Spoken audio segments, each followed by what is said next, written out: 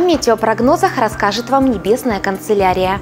И вас приветствую я, Ольга Матвеева, и наш спонсор – медицинский центр «Здоровье». Медицинский центр здоровья предлагает услуги по проведению периодических и предварительных медицинских осмотров для частных лиц и организаций.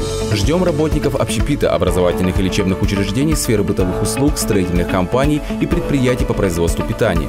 Поможем вам оформить санаторно-курортные карты и медицинские справки для поступающих в учебные заведения. Участвуем в программе государственных закупок. Ждем вас по адресу проспект Морской, 53.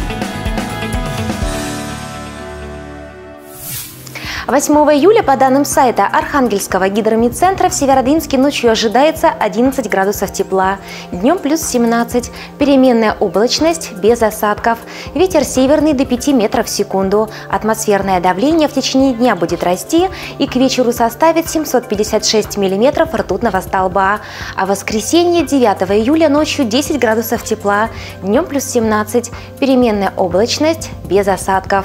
По народному календарю 8 июля день Петра и Февронии. На Руси было принято молиться этой паре святых о благополучии в семье и просить у них благословения на свадьбу. С этого дня ждали еще 40 жарких дней. А я напоминаю, что медицинский центр здоровья предлагает услуги по удалению новообразований кожи за несколько минут. Современное оборудование, щадящие процедуры, доступные цены. У меня все, я прощаюсь, а Вестник Северодвинска продолжается.